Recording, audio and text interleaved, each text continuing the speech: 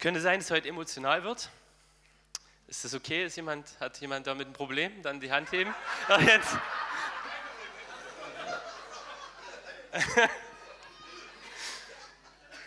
Jens, wir müssen reden. Nein, ich weiß, ich weiß wieder, Jens, das meint. Alles gut. nee, du wolltest, glaube ich, sagen, dass du das okay, dass du okay damit bist. Ja? Das ist gut. Ähm, ich habe das Gefühl, Stefan und ich werden heute keine Athen-Predigt halten, sondern eher eine Korinth-Predigt. Ähm, ich weiß nicht, ob ihr damit was anfangen könnt, aber Gott hat mir irgendwann mal gezeigt, als ich Apostelgeschichte gelesen habe, dass es, ähm, dass als Paulus in Griechenland unterwegs war zur zweiten Missionsreise, hat er erst Station in Athen gemacht und hat auf dem Areopag gepredigt. Ähm, ich selber durfte dort auch schon mal sein. Ich, mir dann, ich wollte mich dann auch hinstellen und so ein bisschen Paulusmäßig. Und die Conny sollte mich dann einfangen mit, der, mit dem Fotoapparat und so, ein bisschen so auf den Spuren von Paulus. Das war ganz witzig. Ähm, das haben wir aber nicht gemacht. Ich habe gedacht, es ist irgendwie auch ein bisschen kindisch. Ähm, auf jeden Fall Paulus war dort in Athen und hat dort auf den Areopag gepredigt und ein Kapitel später lesen wir, dass er dann nach Korinth gegangen ist. Und was total interessant ist, in Athen hat Paulus quasi fast nichts, also in dem Sinne erreicht. Also er hat kaum Leute erreicht. Er hat dort in dieser Stadt, die bekannt war für äh, Intellektuelle und für Wissenschaften und ähm, für die Denker dieser Zeit, dafür ist ja Athen der Antike sehr bekannt, hat er augenscheinlich ganz, ganz viele Leute mit diesem Jesus bekannt, machen, äh, also bekannt gemacht. Und es ist total spannend, wenn man dann weiterschaut ins nächste Kapitel, kommt er nach Korinth und alles, auch was danach passiert, ist, dass äh, Paulus seine Strategie augenscheinlich verändert hat und er angefangen hat, vor allen Dingen in der Kraft und der Autorität des Evangeliums zu predigen. Und auf einmal kamen auch die Durchbrüche. Auf einmal sind die Leute wirklich auch von Jesus berührt worden. Und äh, er hat also nicht versucht, sie intellektuell zu überzeugen, sondern er hat sie versucht, in die Begegnung mit einem Gott zu bringen, der heute noch Wunder tut. Und das ist total interessant, das bei Paulus zu sehen, wie er da also augenscheinlich diesen Strategiewandel vollzieht auf der Reise äh, nach Korinth, was ja letztendlich kilometermäßig gar nicht so weit entfernt ist. Genau, ich glaube, es wird eher so eine, also es tut mir heute leid für all diejenigen, die jetzt auf, äh, also jetzt auf was Intellektuelles gewartet haben. Es wird eher eine Korinth-Predigt, vermute ich mal. Mal schauen. Aber es hat vielleicht auch intellektuelle Elemente. Was ich auch sagen will, ich äh, will, also ich will das immer betonen, wir wollen eigentlich irgendwann äh, zwischen 11 und 11.30 Uhr landen, aber fühlt euch wirklich frei zu gehen, wenn ihr los müsst. Also fühlt, wartet nicht darauf, dass der Anton oder Stefan oder ich sagen, du darfst jetzt gehen, sondern du darfst wirklich einfach gehen, wenn du los musst. Aber was ich krass fand, das will ich noch mal kurz vormachen. Am Freitag hat der Ben seine Uhr genommen und er darf das, er ist Australier und er hat gesagt, ihr Deutschen, ihr müsst ab und zu mal Folgendes machen.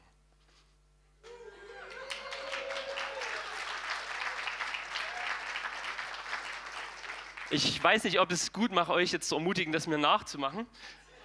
Aber äh, ich hole trotzdem mal die Uhr wieder. Also, das ist jetzt nicht, ich hole mein altes Leben nicht zurück, keine Sorge.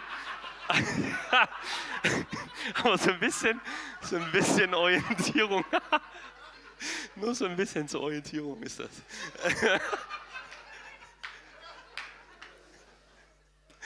ja, genau. Von daher, danke Jesus, du kennst mein Herz.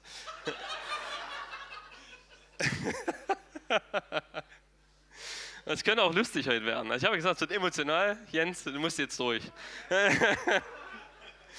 ähm, ich will euch auch gleich am Anfang eine ganz komische Frage stellen. Eine ganz, ganz komische Frage. Wenn du ein Sportwagen sein würdest, welcher Sportwagen würdest du gern sein? Ich weiß, Felix, was du antwortest. Es ist okay. Es ist okay, Felix. Ich weiß es. Aber was würden die anderen antworten? Ruft mal in den Raum. Audi A8. Audi A8. Ah, ja, ist auch ein Angebot. Wie bitte was? Ja, den kennen viele wahrscheinlich gar nicht, aber hier ist ein Fan, der findet den auch gut. Noch jemand? Was? Was standen da? Ich hab's nicht gesehen. Christian. Ja. Welcher Opel Corsa? Habe ich das richtig gehört? War das jetzt?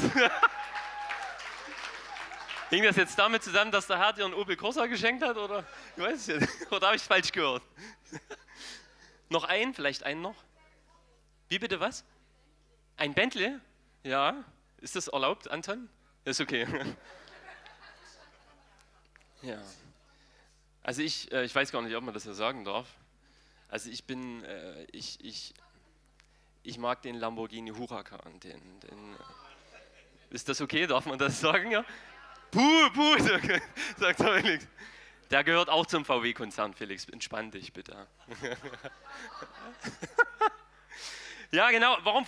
Was macht der Typ hier vorne? Ähm, warum frage ich euch das? Ähm, vor ein paar Jahren hatten wir hier äh, in der Gemeinde einen, äh, einen Mann da gehabt aus Südafrika, François Boutis. Den kennt, kennt ihr jemand hier im Raum? François Boutis? Genau. Äh, François hat eine sehr starke prophetische Salbung und, äh, und kann auch unglaublich gut Klavier spielen. Also, also fast so gut wie der Johannes, würde ich sagen. Und der hatte, äh, der kam zu uns und der, wir saßen, ah ja, oh Christian, das war jetzt nicht nötig, aber ich weiß nicht, das ist jetzt schwierig. Schau auf Jesus, schau.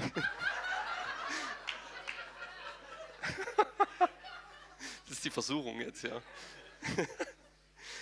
äh, meine Güte, ja. François Botes war da.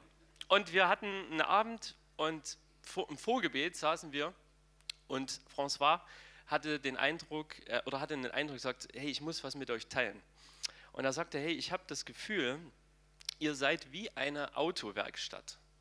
Und wenn Leute hier mit ihren Opel Corsa zum Beispiel oder einem anderen Auto kommen, was schon ein bisschen so, naja, es ist halt, hat schon seine Kilometer gefahren, wenn das hier reinkommt, wird es nach einer Zeit als Supersportwagen wieder rausfahren.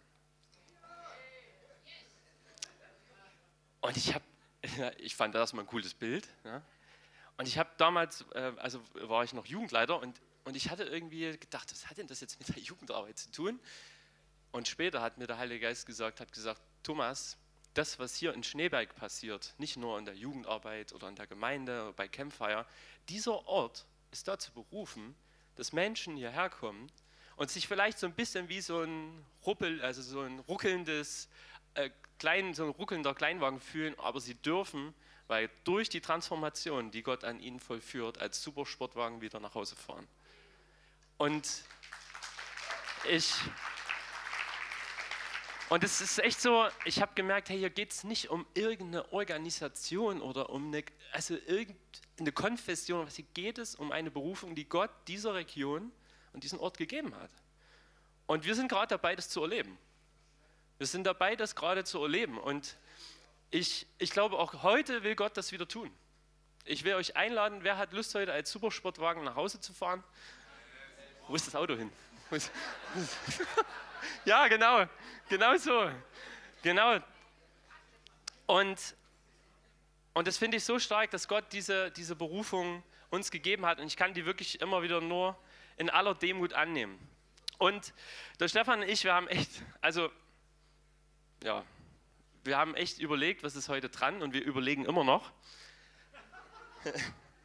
Aber ich habe ein Gefühl, wo ich, wo ich gerne mit euch starten möchte. Und zwar habe ich in der Vorbereitung als wir die ganze Zeit über dieses 3R nachgedacht haben, der Anton hat es so schön zusammengefasst. Ein Gott, der in einer radikalen Art und Weise die Liebe des Vaters zeigt, der sehr real in diese Welt hereinbricht und der uns zeigt, dass das, was er getan hat, für uns und für diese Gesellschaft relevant ist. Ähm, dass das irgendwie heute nochmal in etwas hineinmünden soll, wo es vor allen Dingen darum geht, dass du deine Rolle und deine Position in all dem findest.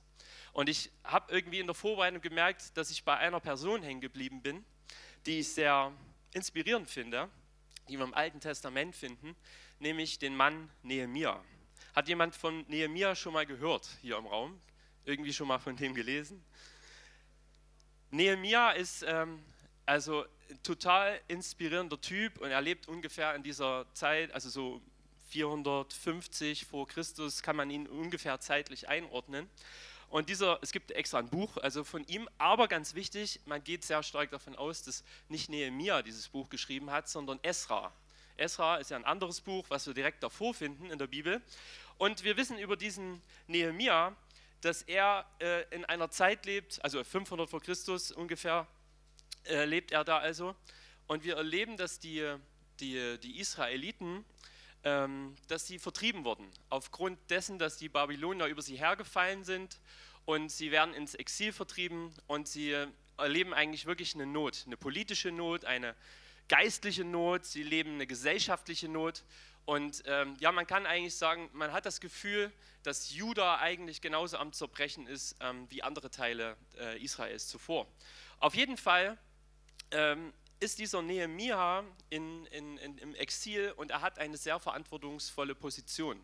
Denn er ist nämlich bei König Artaxerxes, ähm, ist er einer der verantwortlichen äh, Beamten sozusagen am Königshof. Und wenn man diese Geschichte reinliest in, Nehemia äh, 1, da will ich gern mal reinlesen, ähm, da werden, werden ein paar ganz interessante Aspekte deutlich. Ich fange mal an, einfach ab, Nehemia 1, Vers 1. Dies ist die Geschichte Nehemias, des Sohns Hachaljas. Es geschah im Monat Kislev im 20. Jahr, dass ich in Susan in der Königsburg war. Da kam Hanani, einer meiner Brüder mit etlichen Männern aus Juda und ich erkundigte mich bei ihm über die Juden, die Entkommenen, die nach der Gefangenschaft übrig geblieben waren und über Jerusalem. Ganz wichtig, in der Zwischenzeit ist schon etwas Interessantes passiert. Zerubabel ist zurück äh, nach äh, Jerusalem gegangen und hat den Tempel wieder errichtet. Es ist also schon so, dass einige ähm, äh, Israeliten wieder dorthin gekommen sind, einige Juden wieder dorthin gekommen sind. Und ganz spannend, das hatte damit zu tun, dass wirklich so ein Kairos-Moment eingetreten ist, nämlich die Babylonier wurden von den Persern verdrängt. Für all diejenigen, die historisch interessiert sind, das ist total spannende Geschichte. Auf jeden Fall, die, die, die Perser sind jetzt die neue Macht und sie geben den, äh, quasi den Juden den Raum, wieder zurück nach Jerusalem zu zurückzukehren und ihr geistliches Zentrum wieder aufzubauen. Ganz spannend, das ist so die Situation. Und sie sprachen zu mir, die übrig gebliebenen, die nach der Gefangenschaft übrig geblieben sind, befinden sich dort in der Provinz, Provinz in großem Unglück und in Schmach und die Mauern Jerusalems sind niedergerissen und ihre Tore mit Feuer verbrannt. Und es geschah, als ich diese Worte hörte, da setzte ich mich hin und weinte und trug Leid etliche Tage lang und ich fastete und betete vor dem Herrn des Himmels und sprach, ach Herr, du Gott des Himmels, du großer und furchtgebietender Gott, der den Bund und die Gnade denen bewahrt, die ihn lieben und seine Gebote halten. Lass doch deine Ohren aufmerken und deine Augen offen sein, dass du auf das, Gebot, äh, das Gebet deines Knechtes hörst, da ich nun vor dir Tag und Nacht bete für die Kinder Israels, deine Knechte, und mit dem ich die Sünde der Kinder Israels bekenne und wir, die wir an dir begangen haben. Und auch ich, und das Haus meines Vaters haben gesündigt. Wir haben sehr verwerflich gegen dich gehandelt, dass wir die Gebote, die Satzungen und Rechtsbestimmungen nicht befolgt haben, die du deinem Knecht Mose geboten hast. Gedenke doch an das Wort, das du deinem Knecht Mose gegeben hast, indem du sprachst, wenn ihr treulos handelt, so will ich euch unter die Völker zerstreuen. Kehrt ihr aber zu mir um, befolgt meine Gebote und tut sie. Selbst wenn einige von euch bis ans Ende der Himmel verstoßen werden, so würde ich sie doch von dort sammeln und sie an den Ort bringen, den ich erwählt habe, damit mein Name dort wohnen soll. Sie sind ja doch deine Knechte und dein Volk, das du erlöst hast, durch deine große Kraft und deine mächtige Hand. Ach Herr, lass doch dein Ohr aufmerksam sein auf das Gebet deines Knechtes, auf das Gebet deiner Knechte, die das Verlangen haben, deinen Namen zu fürchten und lass es doch deinem Knecht heute gelingen und gib ihm Barmherzigkeit vor diesem Mann. Ich war nämlich der Mundschenk des Königs. Ein sehr einflussreicher Hofbeamter am Hof des Königs. Was passiert? Wir haben einen Nehemia, der, von einer der eine Situation wahrnimmt, der etwas realisiert. Er nimmt eine Not in der Gesellschaft wahr und es bricht ihm das Herz. Da ist eine große, große Not in seinem Volk und es bricht ihm das Herz. Und was tut er? Er geht ins Gebet und er fleht. Und er sagt, Gott, hilf uns. Und er beruft sich auf die Verheißungen, die Gott gegeben hat. Und er weiß ganz genau, was Gott gesagt hat. Er weiß, was Gott zu Mose gesprochen hat. Er weiß ganz genau, was die Wahrheit ist und was die, was die, was die Perspektive ist, die Gott eigentlich gezeigt hat. Und er weiß auch ganz genau, was er und seine Vorfahren und seine Familie dazu beigetragen haben, dass das, wie es jetzt gerade ist, dass es genau dazu gekommen ist. Er erkennt, ich habe Verantwortung dafür, dass die Dinge gerade nicht so sind, wie sie eigentlich sein sollten. Und er tut Buße. Und er tut vor Gott eigentlich im Gebet umkehren und sagt, nein, so kann es nicht weitergehen. Und ich habe wirklich das Gefühl gehabt, Und ich will an dieser, an dieser Predigt immer wieder kurz anhalten. Ich habe das Gefühl gehabt, dass Leute hier sitzen, die vielleicht ähnlich wie Nehemiah eine ganze, ganze Zeit eigentlich jetzt dahin leben und für nichts irgendwie mehr eine gewisse Art von Barmherzigkeit, ein gewisses Gefühl von Not wahrnehmen, die eine gewisse Gleichgültigkeit in ihrem Herzen entwickelt haben. Und Achtung, das ist kein Vorwurf. Es sind viele Dinge, die in unserer Welt ziemlich, ziemlich also katastrophal laufen. Wir brauchen nur den Fernseher einschalten, 15 Minuten Tagesschau und ich weiß ganz genau, was nicht gut läuft. Ich weiß ganz genau über die Krisen und die Katastrophen in meiner Umgebung, teilweise vielleicht in meiner eigenen Familie. Ich weiß darum, was in dieser Welt alles kaputt ist. Und es kann ziemlich niederdrückend sein. Aber darf es uns denn noch berühren? Darf es denn noch unser Herz berühren über das, was in dieser Welt kaputt ist und was nicht der Ordnung Gottes entspricht? Kann unser Herz genauso bewegt werden, wie das Herz von mir, bewegt werden? Und ich will euch herausfordern. Wir sind an diesem Wochenende oft aufgestanden. Und diese Konferenz fordert auf, real, radikal und relevant zu leben. Und es fordert manchmal radikale Entscheidungen. Und ich kann mich daran erinnern, als wir zur letzten Konferenz den Schuleinsatz gemacht haben, zusammen mit Konrad, da sind wir in der Schule gegangen, in der ich bin. Und wir haben ziemlich klar das Evangelium in Kraft gepredigt. Und ihr erinnert euch vielleicht daran, die ihr da letztes Mal dabei wart. Es haben sich über 30 Jugendliche in dieser Schule zu Jesus bekannt. Und was haben sie gemacht? Und das haben wir ganz bewusst gemacht. Wir haben gesagt, alle lassen die Augen auf und du stehst auf und du bekennst damit, dass das, was du gerade in deinem Innersten entschieden hast, nicht nur ein Moment ist, sondern dass das wirklich ein sichtbares Zeichen vor der Welt ist. Und Achtung, ich will dich jetzt gerne einladen, wenn du sagst, Jesus, ich möchte die Not dieser Welt wieder neu wahrnehmen, nicht damit es mich erdrückt, sondern damit ich deinen Herzschlag, den du für diese Welt hast, wieder neu empfangen kann, so wie Nehemiah mich wieder öffnen für das, was dir, was dich bewegt, was dein Herz auch traurig macht. Wenn du merkst, es ist für dich dran, dann will ich dich ermutigen, aufzustehen, jetzt an dieser Stelle.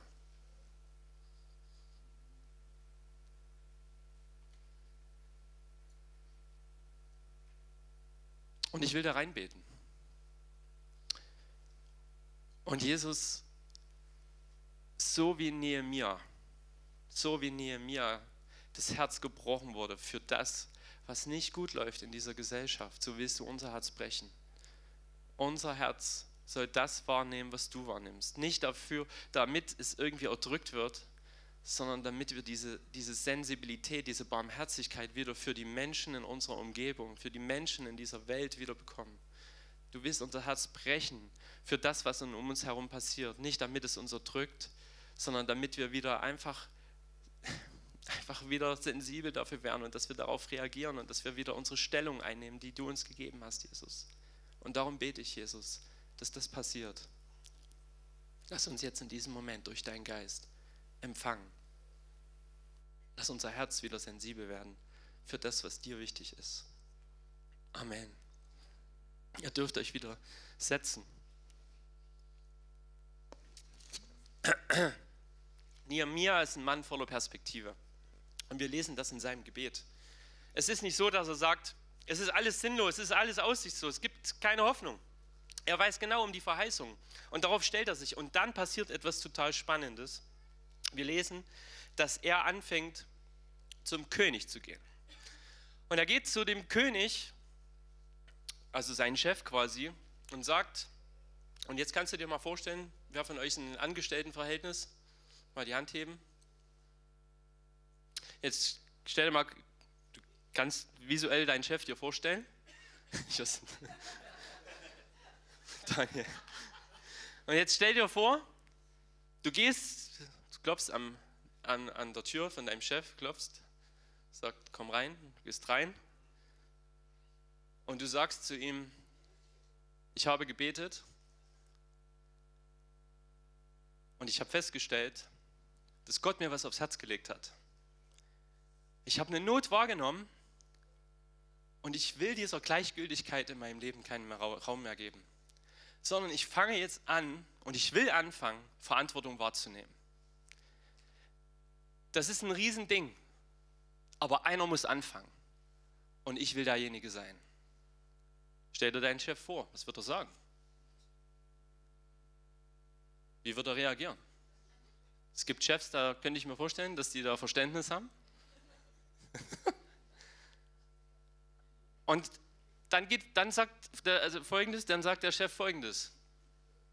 Okay, alles klar. Wie lange brauchst du denn Zeit? Und es ist nicht geschrieben, äh, das ist, hätte ich total gern gewusst, was er da gesagt hat. Es steht nicht genau drin, aber es steht drin, dass der König zu Nehemiah sagt, ich gewähre deinen Plan. Ich stelle dich von der Arbeit frei. Es ist nicht drin äh, geregelt, ob die jetzt irgendeine Vereinbarung getroffen haben, wie das mit der Lohnfortzahlung ist und so weiter und so fort. Es steht leider nicht drin. Hätte ich spannend gefunden, wie die das gemacht haben. Aber da ist ein König, der sagt Nehemiah, ich gewähre dir. Und das Faszinierende ist, dieser Nehemiah erlebt, dass durch diesen König auf einmal Dinge passieren, die er sich nie hätte vorstellen können. Denn der König sagt, und ich, ich stelle dir Soldaten zur Verfügung. Und ich gebe dir Briefe, mit denen du durch alle Regionen hindurchkommst. Und ich gebe dir alles, was du brauchst, damit du nach Jerusalem kommen kannst und dort diesen Auftrag wahrzunehmen, nämlich die Mauern von Jerusalem wieder zu errichten. Er bekommt Gunst durch einen Mann, der nicht mit Gott connected ist. Aber was ist das? Das ist Gottes Führung. Das ist dieser Gott, dem nichts unmöglich ist, der selbst die Herzen derer berühren kann, die ihn noch nicht mal kennen. Und das zeigt mir Folgendes. Es kann sein, dass du gerade da sitzt und aufgestanden bist und du hast gedacht, ja klar, ich will diese Not, ich will das schon wahrnehmen, ich will schon dafür sensibel werden, aber keine Ahnung, was soll ich denn jetzt machen? Das nächste, was du tun darfst, ist, dass du sagst, und jetzt trete ich hinein. Ich trete hinein in diese Not. Ich bin derjenige, der anfangen will. Ich bin derjenige, der dem ein Ende bereiten will. Ich bin derjenige, der das machen will. Und wenn du das tust, dann darfst du wissen, dass sich einer dazu stellt, nämlich der König der Könige. Und dieser König der Könige hat alle Möglichkeiten. Er hat alle Möglichkeiten, auch selbst die Herzen zu berühren, die ihn noch nicht kennen. Und dir eine Befähigung zu geben, dass du auf einmal eine Gunst hast in dem, was du tun willst. Und das macht mich doch ziemlich hoffnungsvoll dass gerade in unserer Zeit, wo so viele Dinge schieflaufen, ich, wenn ich sage, ich trete, ich stehe jetzt auf und ich trete hinein und egal was es ist, Heiliger Geist, du darfst mir das aufzeigen, dass ich erleben darf, dass sich ein Gott dazu stellt und dass er mich seine Gunst erfahren lässt. Wer von euch hat Lust darauf zu sagen, ich habe zwar keine Ahnung, wie das funktioniert, aber ich will hineintreten und ich will erwarten, dass sich dieser Gott genauso wie, er sich Nehemiah dazugestellt hat, auch bei mir dazustellt dann darfst du gern aufstehen. Wenn du vorhin nicht aufgestanden bist und jetzt aufstehen willst, nee, dann, dann das ist okay. Das ist vollkommen okay. Du darfst, auch wenn du vorhin nicht, darfst auch jetzt aufstehen.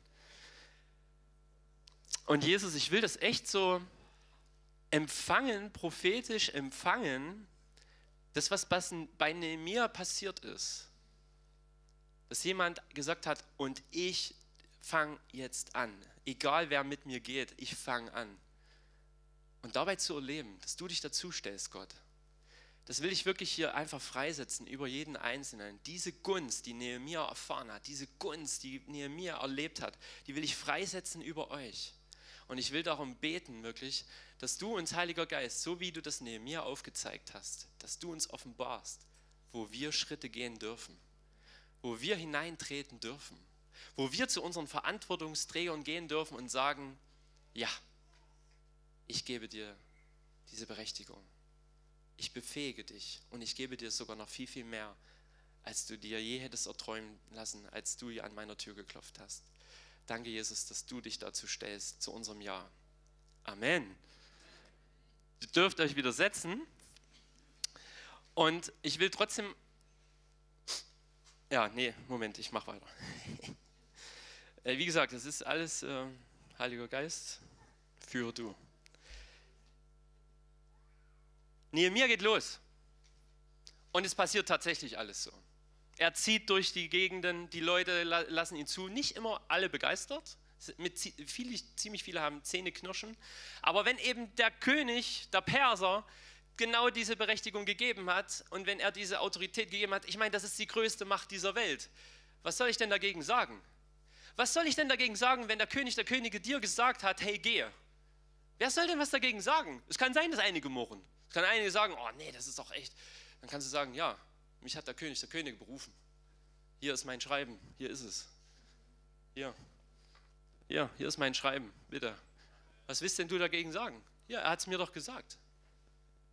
Übrigens, Ben als Australier hat uns Deutschen wieder deutlich gemacht, dass wir diesen Schatz wieder neu entdecken dürfen. Und ich bin heute dabei umzukehren. Ein Teil meiner Umkehr ist schon erfolgt. Hier ist noch das Samsung-Handy, aber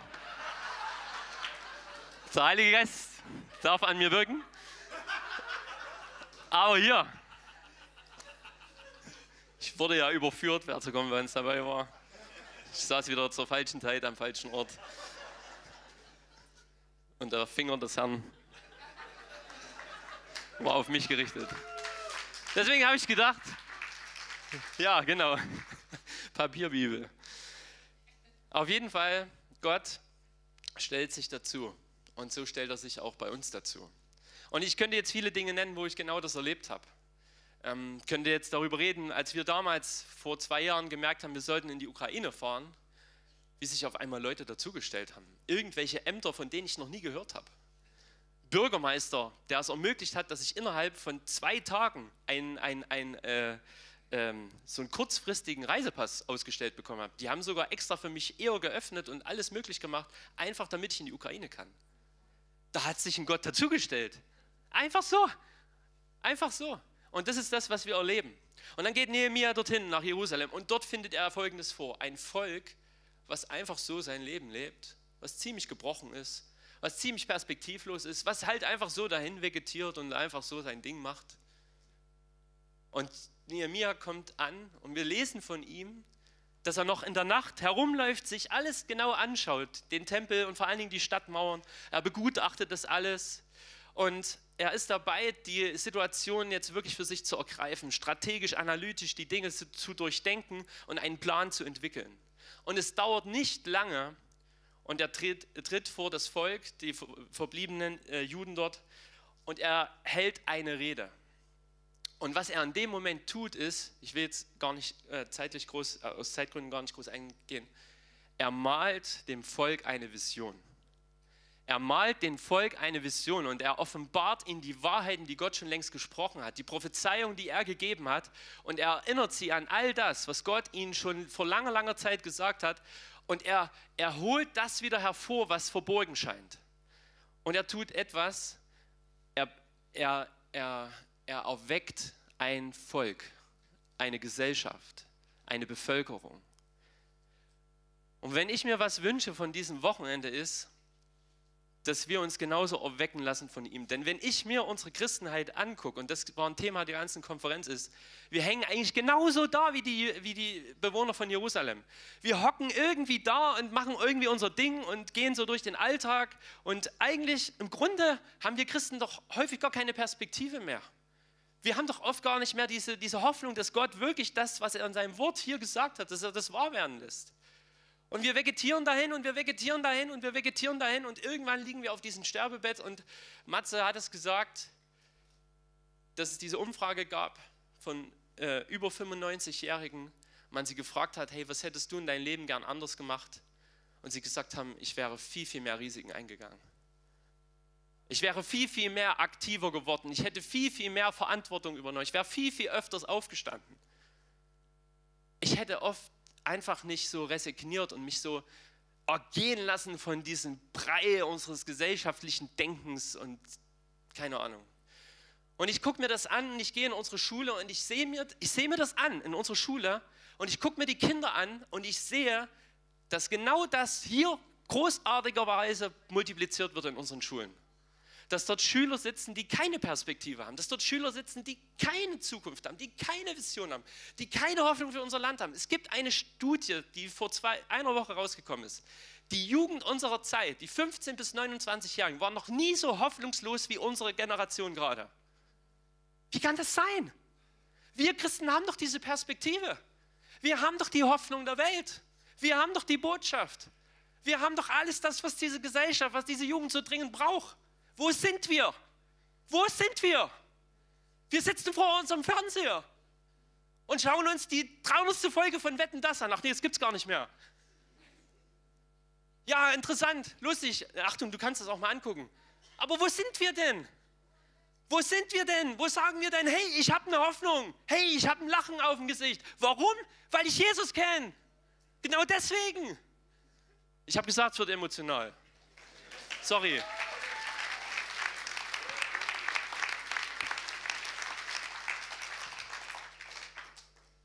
Ich wünsche mir einfach wieder die Christen, die Kante zeigen. Christen, die wieder anecken. Christen, die wieder mal einfach mal auftauchen und sagen, ich bin Christ und du bist nicht und ich wünsche mir, dass du es wirst. Einfach, weil ich dich liebe und weil ich will, dass du das genauso erlebst. Weil ich die Hoffnung habe und ich wünsche mir, dass du diese Hoffnung genauso hast. Ich glaube, dass auf diesem Wochenende wirklich Gott einfach so eine neue Gleichgültigkeit gegenüber dem, wie Gesellschaft ist, dass, wir das, dass diese Gleichgültigkeit ist, egal was die anderen von mir denken, diese Menschenfurcht, dass sie weichen muss und wieder einfach so eine neue Kante von uns als Christen hervorkommt. Dass wir einfach wieder sagen, hey, wir haben die Botschaft, wir haben die Hoffnung, wir haben das Leben. Und das hat Nehemiah gemacht. Er hat das hineingesprochen in die, in, in die Gesellschaft. Und ich, ja, wer von euch hat Lust darauf anzuecken? Dann will ich dich ermutigen, aufzustehen. Dann will ich dich ermutigen, aufzustehen. Und du kannst es mal praktisch machen. Eck mal deinen Nachbar an. Hier so. Aber möglichst so, dass er noch stehen bleibt. Nicht, dass Leute noch sagen, der Heilige Geist hat dich umgehauen.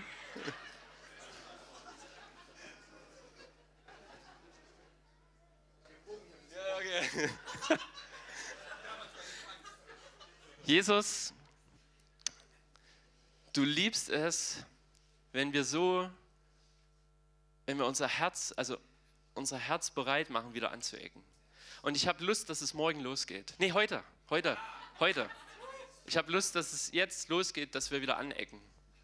Und dass Leute echt auch mal wieder genervt sind von uns dass sie genervt sind davon, dass wir dauernd von dieser Hoffnung und von diesem Jesus reden, dass sie am Ende sagen, ich habe ja gar keine andere Option, ich muss mich auch für den entscheiden. Jesus, ich will das freisetzen über uns, diese, diese, dieses Anecken. Jesus, du bist der Eckstein. Ich habe auch Lust, ein Eckstein zu sein, an dem man sich aneckt. Danke, Jesus, dafür. Danke, Jesus. Amen. Alles gut so? Okay. Können wir einen Daumen zeigen, so wie. Okay. Also mir geht's so. Ich komme ich komm zur nächsten. Ach du meine Güte, was habe ich denn noch? Ach du. Ich habe noch so viel im Kopf, Stefan. Es tut mir leid. Ja, okay. Nehemiah tritt als Leiter auf. Und das ist das, was diese Bevölkerung so dringend gebraucht hat. Er ist aufgetreten als Leiter mit Vision. Und ich habe wirklich das Empfinden gehabt in der Vorbereitung, dass hier Leute im Raum sitzen, die Leiterschaft, also wir alle sind Leiter, das lernen wir übrigens bei Campfire, weil du, weil du in all dem, was du tust, schon alleine, dass du dich selber verantworten musst, das hat was mit Leiterschaft zu tun. Aber es gibt Leute, die ein besonderes Maß an Leiterschaft haben, die eine besonders große Verantwortung haben. Wer im Raum würde von sich behaupten, dass er eine große Verantwortung, also schon eine größere Verantwortung hat? Vielleicht bist du Unternehmer, Gemeindeleiter, äh, was auch immer. Wer von sich würde das behaupten? Das sind Leute, die sich noch nicht melden. Du hast falsche Demut. Du darfst dich melden. Und ihr dürft mal aufstehen, alle. Ja, lasst, äh, wir, wir, sind heute, wir müssen aufstehen. Das hilft alles nichts. Ich glaube, dass dort in Jerusalem viele Leute aufgetreten sind, die von sich behauptet haben, dass sie Leiter sind. Aber sie konnten diese Leiterschaft nicht wahrnehmen, weil ihnen ein was gefehlt hat, was Nehemiah hatte, nämlich eine Perspektive Gottes, eine Vision, die Gott ihm gegeben hat. Denn was sagt das Wort Gottes? Ein Volk ohne Vision verwildert. Und das ist in Jerusalem passiert. Das Volk ist verwildert, weil keine Vision da war. Und deswegen musste Gott einen Mann, der im Exil ist, dorthin bringen nach Jerusalem, damit endlich wieder Vision hervorkommt. Und ich möchte jetzt mal alle bitten, die um diese Personen, die hier stehen, herum, also herumstehen, dass ihr ihnen mal die Hände auflegt. Weil ich glaube, Gott will euch nicht einfach nur Leiter sein lassen, sondern Gott will euch Menschen sein lassen, die Visionen von Gott haben. Und ich wünsche mir, dass wir als Christen, die wir in Verantwortung stehen, egal in welchem Kontext, dass wir wieder, und ich glaube, viele nehmen das in diesem Raum hier schon wahr, und ich glaube, da bestätigt Gott einfach nur.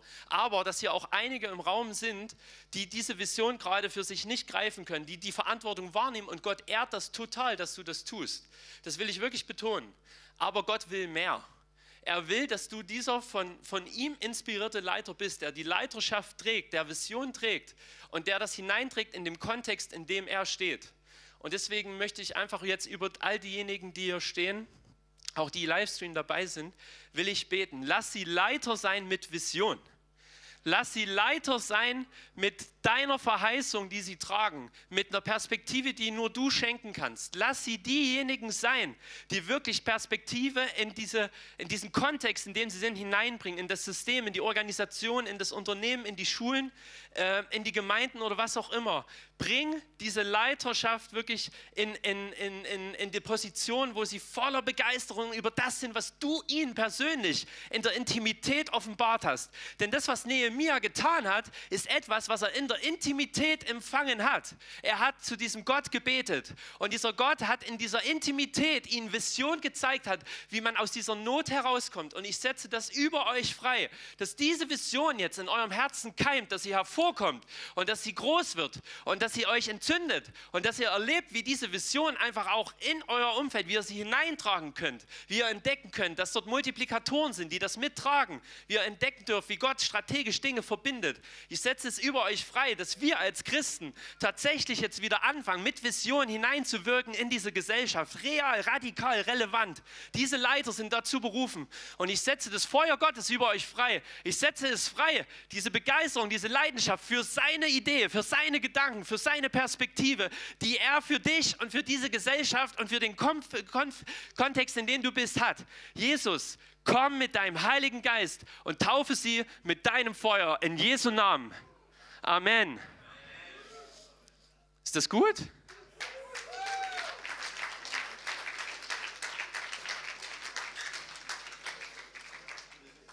Ach du meine Güte.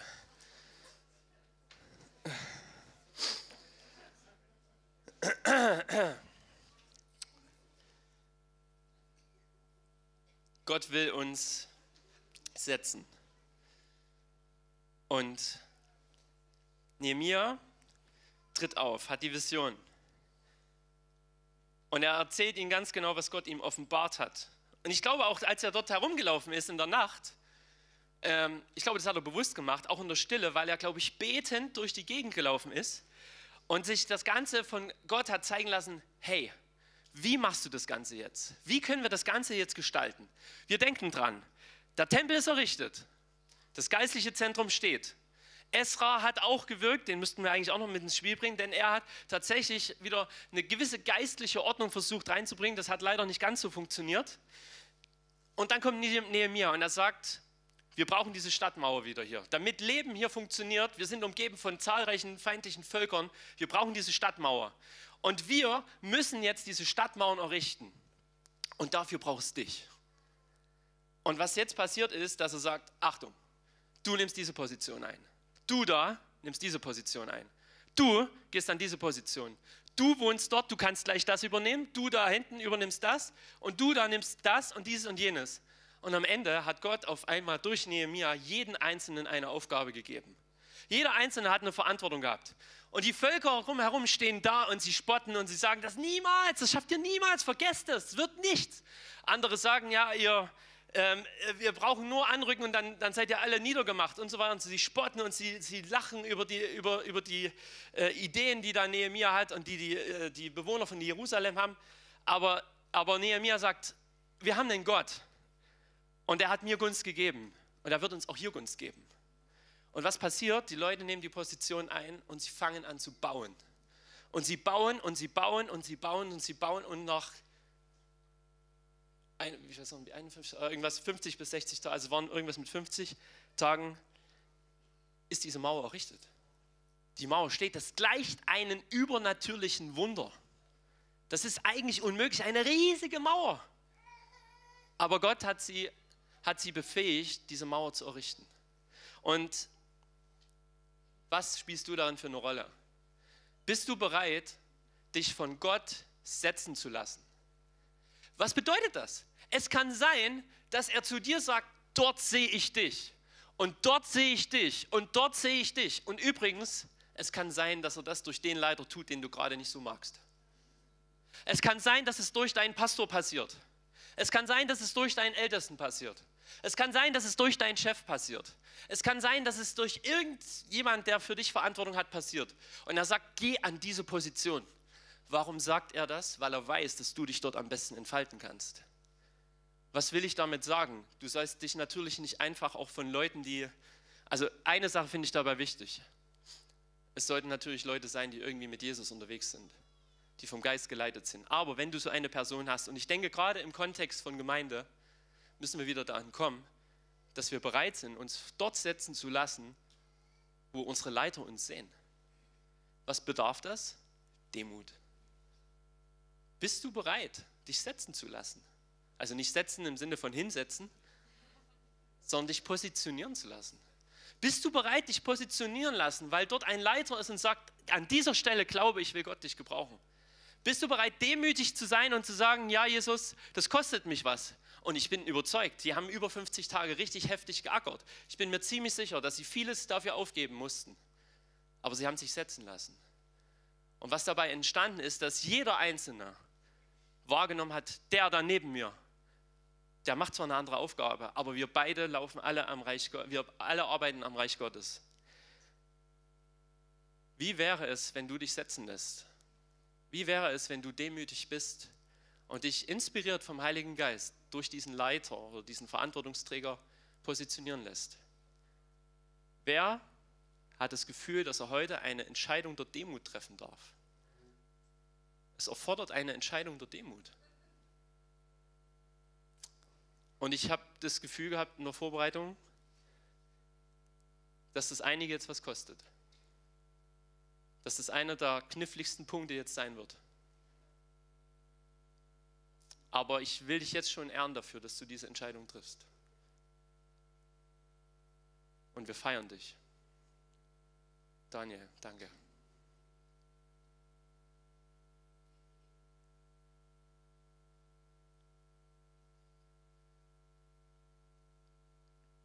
Hier ist gerade hier ist gerade ein Moment, wo der Heilige Geist dir die Möglichkeit gibt, darauf zu reagieren. Und der geht tief. Der geht richtig tief. Aber weißt du, er ist wichtig.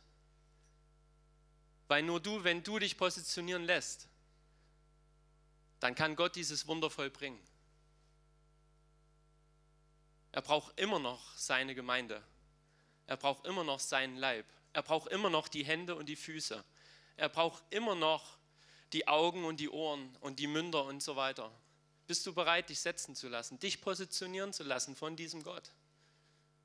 Bist du bereit, demütig zu sein und zu sagen, ich habe zwar das Gefühl, ich weiß es, aber es ist egal. Du weißt es besser. Deine Gedanken sind größer. Dein Name ist größer. Haben wir vorhin gesungen. Deine Gedanken sind größer, Jesus. Das ist das Beste, was uns passieren kann. Weißt du, dass ich hier heute stehe, ist nicht, weil ich mir es ausgesucht habe. Dass ich heute hier vorne rede zu euch, habe ich mir nicht ausgesucht. Niemals in meinem Leben. Und es macht auch nicht immer Spaß. Es macht viel Spaß, sehr, sehr, sehr viel Spaß. Aber es gibt Momente, da macht es keinen Spaß. Und dann wünsche ich mir eigentlich, ach Gott, irgendwas anderes. Aber wer bin ich? Ich habe mich lange dagegen gewehrt, zu einer Konferenz als Sprecher aufzutreten. Weil ich gedacht habe, Thomas, du hast nichts zu sagen. Was hast du denn schon zu sagen? Gegenüber einem Ben Fitzgerald, was hast du denn schon zu sagen? Gegenüber einem Konrad Max Gille, was habe ich denn, Thomas, schon zu sagen? Aber weißt du was? Wenn Gott sagt, Thomas, du sollst reden, wer bin ich denn?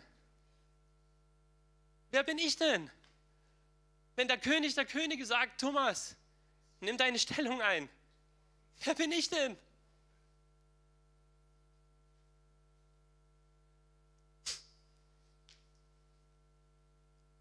Ich habe die ganze Zeit gedacht, ich bin demütig, indem ich nicht rede. Aber weißt du, was Demut ist? Demut ist, die Wahrheit Gottes anzunehmen.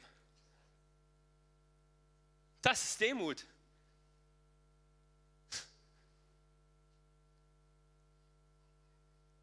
Brauchen wahre Demut als Christen.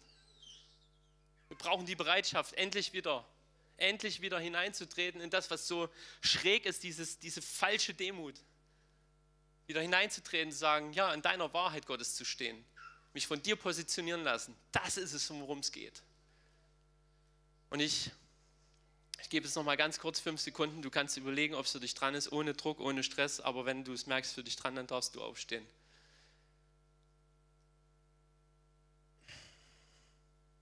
Oh, danke.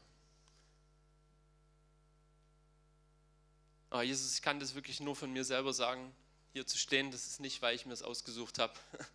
Überhaupt nicht. Ja, wenn es nach mir gegangen wäre, sollte jemand ganz anders hier stehen.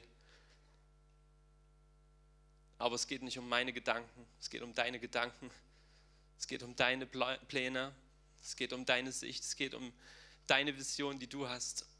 Und Jesus, ich bete darum, dass alle diejenigen, die jetzt da auch eine Entscheidung getroffen haben, gesagt haben, hey, ich möchte wirklich in dieser Demut mich wirklich, die, die Wahrheit Gottes über mein Leben und die Bereitschaft, mich von dir positionieren zu lassen, das will ich ehren und ich will euch darin segnen, dass ihr darin wandeln könnt, in Freude wandeln könnt, in Dankbarkeit wandeln könnt, weil der König der Könige euch höchstpersönlich berufen hat. Und dafür danke ich dir, Jesus. Danke, danke, danke, Jesus. Danke, du bist so gut. Das Beste, was uns passieren kann, wenn du uns positionierst und wenn wir uns positionieren lassen, dann ist das Wunder Gottes möglich. So haben wir es bei Nehemiah gesehen. Danke dafür. Amen. Gebt euch mal einen Applaus, dass ihr so mutige Schritte geht.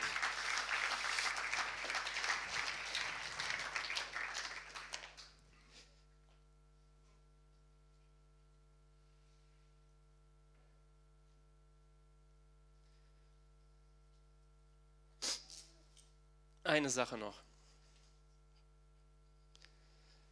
Eigentlich soll Stefan auch predigen. Oh. Ja.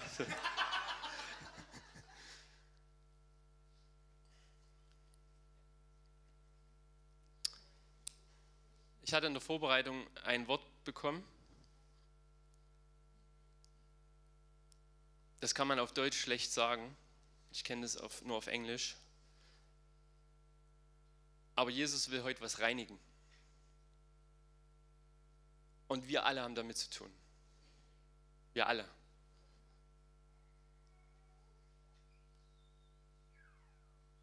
Denn wir sind einer Lüge auf den Leim gegangen.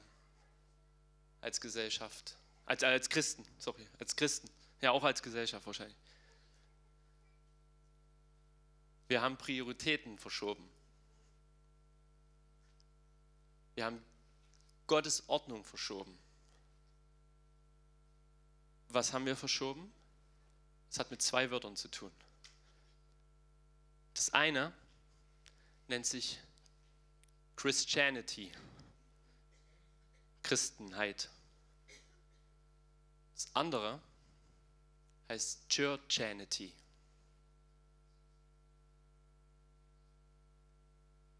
Jetzt werden diejenigen, die kein Englisch können, sich fragen, was bedeutet das denn?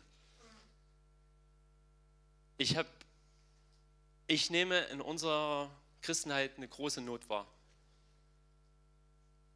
Meine Kirche, deine Kirche. Hey, sei willkommen in deiner Kirche. Dann wird es zu meiner Kirche. Und weißt du, in meinem Herz könnte ich laut schreien. Ich kann laut schreien. Weil ist nicht meine Kirche. Das ist nicht deine Kirche. Es ist seine Kirche. Es ist nicht meine. Es ist nicht deine. Es ist seine. Hey, wir sind da auf den Leim gegangen. Und weißt du warum? Weil wir gedacht haben, wir müssen es der Gesellschaft so leicht wie möglich machen, ja, hier in diese Räume zu kommen. Hier in diese Räume zu kommen, da ist es deine Kirche. Hey, es kann sein, dass du in einer Gemeinde bist, wo genau das gesagt wird. Und hey, versteh mein Herz. Ich weiß genau, was dahinter steckt. Ich weiß ganz genau, was die Sehnsucht ist, die dahinter steht. Aber lass mich eins sagen. Aus einem Slogan kann eine DNA werden. Aus einem Slogan kann eine DNA werden. Und mein Gefühl ist, dass aus einem Slogan und vielen dieser Slogans eine DNA geworden ist. Und meine Sehnsucht ist, dass wir wieder erkennen und sagen, es ist seine Kirche. Es ist seine Kirche. Es ist seine Braut. Es ist sein Leib. Es ist sein Tempel. Es ist, es ist, gehört ihm. Wer bin ich zu sagen, das ist meine? Es ist nicht meine. Nie, nie, niemals. Es ist seine. Er ist der Pastor dieser Gemeinde, dieser Kirche. Er ist der Leiter. Er ist der Apostel. Er ist derjenige, der sie gesetzt hat. Und ich merke wirklich, dass Gott da wirklich in unsere Christenheit hineinwirken will, sagen, hört auf damit. Es ist zum Schreien, also mein Herz schreit. Es ist meine Kirche und nicht deine. Es ist meine. Tu Buße. Kehr um. Und ich tatsächlich, ich wünschte mir, dass manche Gemeinden einfach diese Schilder von ihren Gebäuden unterreißen und sagen und hinschreiben, seine Kirche, ja, seine Kirche, deine Kirche, Jesus, ja, deine. Hey, das kann sein, dass du dich im Englisch angesprochen offended fühlst. Ein lieber Freund von mir sagt, wenn du dich offended fühlst, ist, eine Chance, also ist ein Reiz da für Veränderung. Und vielleicht darfst du dich da verändern, in deinem Denken, in deinem Mindset als Gemeinde. Und weißt du, was wir wieder neu lernen dürfen? Uns darum drehen, dass es um unsere Gemeinde geht, um seine Gemeinde. Jesus redet über sein Reich, dass das Reich Gottes kommt. Nicht, dass die Gemeinde kommt, sondern das Reich Gottes hervorkommt. Darüber redet Jesus die ganze Zeit. Die ganze, ganze, ganze Zeit. Und was bedeutet das? Dass wir uns wahrnehmen, dass wir sagen, hey, da sind die, die Geschwister aus Dresden im Lobpreishaus. Da ist The Message. Da ist Awakening in, in, in Süddeutschland. Da ist, ähm, da ist Lighthouse Heiger. Das sind alles Leute, die die ganze Zeit da waren. Da ist, ähm, da ist EFG Schneeberg. Da ist Campfire. Da ist Herzstückgemeinde. Da ist die evangelisch-lutherische Gemeinde in Aue. Da ist, äh, da ist Seal Church, da ist äh, Lutherkirche in Chemnitz, da ist C3, was auch immer.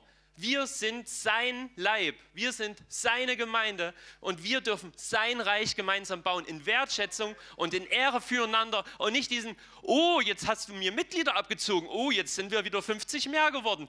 Hey, wir müssen aufhören mit diesen Church Games, wir müssen anfangen, wieder Reich Gottes Games zu spielen.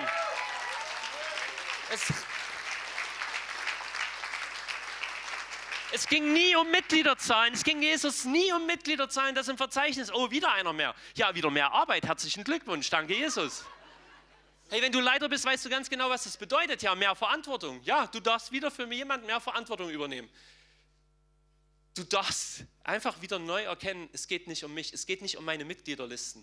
Es geht nicht darum, dass ich jetzt zwei Gottesdienste anbieten kann. Danke, Jesus, wenn Erweckung ausbricht in deiner Gemeinde. Halleluja. Aber es geht nie darum. Es geht darum, dass wir gemeinsam in Wertschätzung und in Ehre ein einfachen Gegeneinander sehen.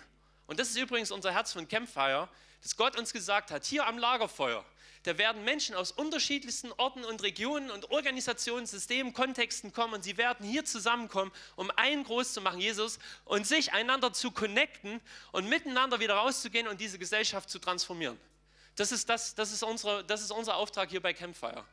Gestern saß ich im Referentenraum und ich muss es so feiern, deiner also sagen, was ist denn das jetzt? Da saßen zwei unserer Sprecher, Carlos und Ben zusammen und sie haben darüber geschwärmt, wie sie doch das Golfspielen lieben. Und wer Ben kennt, weiß, Ben hat viel zu tun. Aber diese beiden, die lieben so sehr das Golfspielen, dass sie ausgemacht haben, wir müssen innerhalb der nächsten Woche unbedingt zusammen Golf spielen. Hey, ich schaue mal in meinen Kalender rein. Da haben sie beide ihre Kalender abgecheckt und haben festgestellt, da ist ein kleines Zeitfenster. Hey, da gehen wir zusammen Golf spielen.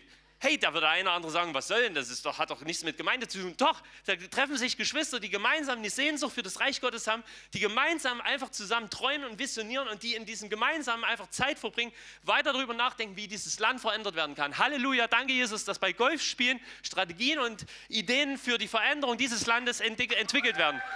Halleluja.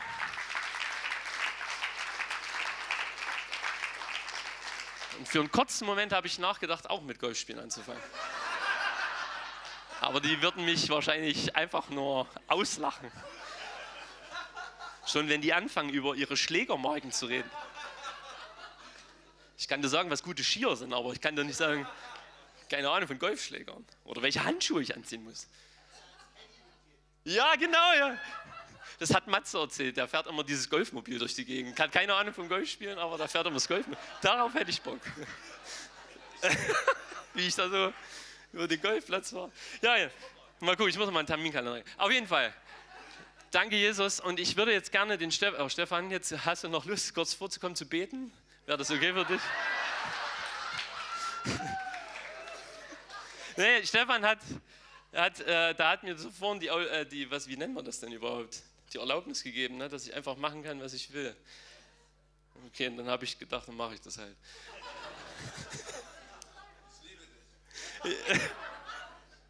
Also, ich habe.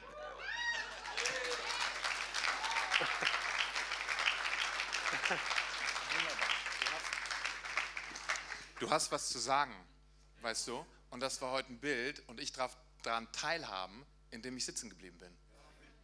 Du hast.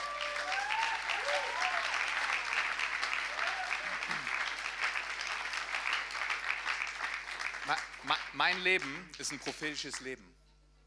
Und das heißt, das war eine Prophetie für dich. Die ganze Zeit habe ich gesessen und du darfst hier stehen, weil Gott dich hergestellt hat. Du bist ein wunderbarer Leiter und du hast viel zu geben, du hast viel zu sagen. Ich bin fest in meiner Identität und nicht beleidigt und feiere dich.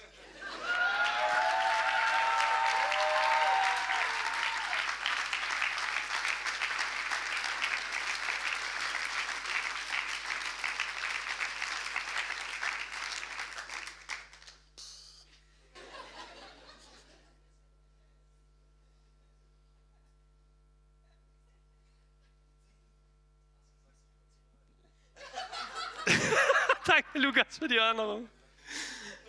Uh, ja, ja, ich habe ja, hab ganz viele in meiner Hosentasche drin. Die habe ich oft gebraucht das Wochenende. Äh, danke. Ähm, ach du meine Güte. Ähm, ich wollte noch eine Sache sagen. Oh, habe ich das vorhin schon ein paar Mal gesagt, oder? Herr, vergib. Jetzt darf ich noch eine Sache, oder? Ihr könnt auch sagen, nein. Ja. Haus raus. wenn der Benny das sagt, dann mache ich das. Und Benny, der ist nämlich ein klasse Übersetzer. Also der hat am Freitag, Benny, nochmal Applaus für dich, das war so stark, wie du über... Ich, ähm, also Saskia und Benny, das ist unglaublich musste gestern mal ganz kurz den Ben übersetzen. Ich war maximal überfordert. Ich habe das irgendwie hingekriegt, das war aber nur Gnade. Anders hätte ich das nicht hingekriegt. Ihr habt das ja über eine Stunde gemacht, unglaublich. Hey, die Geschichte von Nehemia, die ist ziemlich spannend. Weil wenn man in die letzten Verse und in das letzte Kapitel, die letzten Kapitel reinschaut, stellt man fest, Nehemia ist kurz wieder zurück, also am Königshof, und er kommt zurück und es herrscht das Chaos. Und Nehemia fragt sich, was ist denn jetzt hier passiert? Was ist denn hier los gewesen? Und es ist echt merkwürdig irgendwie. Das Ende von Nehemiah ist total, also das Buch Nehemiah ist merkwürdig, weil äh, Nehemiah rauft sich die Jahre, er ist total frustrierend und er versucht die Dinge wieder in Ordnung zu bringen. Aber irgendwie hat man gemerkt, die machen genau das Gleiche wie vorher. Es ist ein widerspenstiges Volk. Es ist wirklich ein widerspenstiges Volk. Und was dann passiert, ähm, oder was dann eben nicht passiert ist, dass man irgendwie das Gefühl hat, oh, jetzt ist der Durchbruch da. Und das liest man auch bei Esra. Aber wisst ihr, was uns unterscheidet? Und hier ist ein Punkt, wo die Geschichte von Nehemiah für uns nicht mehr relevant ist. Wir haben eine andere Perspektive. Denn wir haben jemand, der hat den Durchbruch geschafft. Wir haben jemand, der ein Statement gesetzt hat mit seinem vollbrachten Werk, nämlich Jesus. Und er ist derjenige, der wirklich dafür sorgt, dass das nicht nur eine Momentaufnahme ist. Und deswegen ist mein Glaube und meine Hoffnung, auch meine Gewissheit, ist das, wenn du heute hier Entscheidungen für dich getroffen hast oder in den letzten Tagen, dass das keine Momentaufnahme ist. Weil du jemand hast, der den Durchbruch errungen hat und der dich durch seinen Heiligen Geist befähigt, ausrüstet, zurüstet, führt, leitet, damit du tatsächlich real, radikal und relevant dein Christsein wahrnehmen kannst. Er macht es möglich. Er macht es möglich. Damals konnte Nehemiah nicht auf diese Ressource zurückgreifen. Wir können es. Und wir sind damit so beschenkt. Und im Bewusstsein dieses, dieses, dieses Jesus würde ich euch nochmal fragen, ob wir nochmal ein Lied zum Abschluss äh, setzen können, dass wir, also irgendwie, also ihr wisst, ihr wisst wahrscheinlich schon welches Lied, keine Ahnung, aber dieser, dieser Jesus, er macht den Unterschied. Er befähigt uns durch seinen Geist.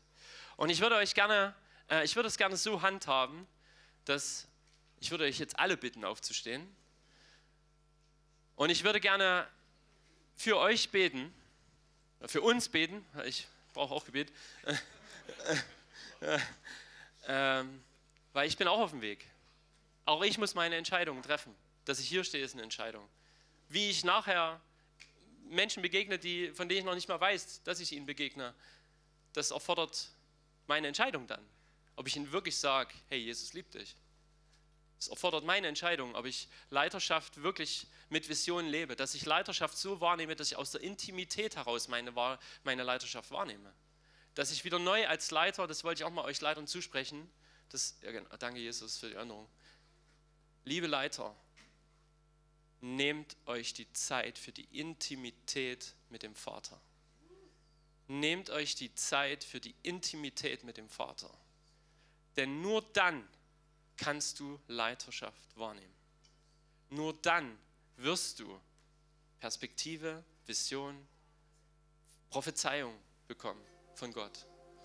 Und Jesus, wir stehen jetzt hier und egal, was du uns offenbart hast heute, stehen wir hier, weil wir wissen, wir stehen eigentlich genauso da wie die, wie die, wie die, wie die Juden in Jerusalem.